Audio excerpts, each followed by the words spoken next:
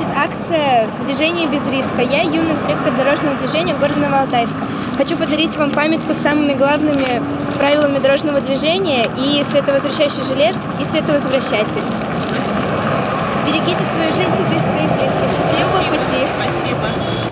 Такая неожиданная акция застала водителей на трассе Р-256 рядом с Новоалтайском в преддверии Всемирного дня памяти жертв ДТП.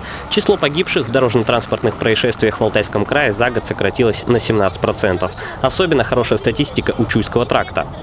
Количество учетных ДТП на автодороге Чуйский тракт по, э, по сравнению с прошлым годом снизилось. Также снизилось количество погибших. Так, в 2022 году за 10 месяцев погибло 33 человека, в 2023 году за такой же период погибл, погиб 21 человек.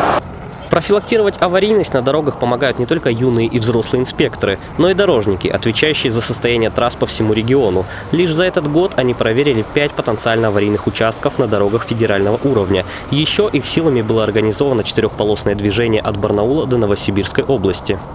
Также стоит отметить э, о э, немаловажном методе по борьбе с аварийностью – это освещенность дорог.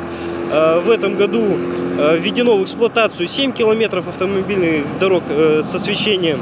В прошлом году 25 километров.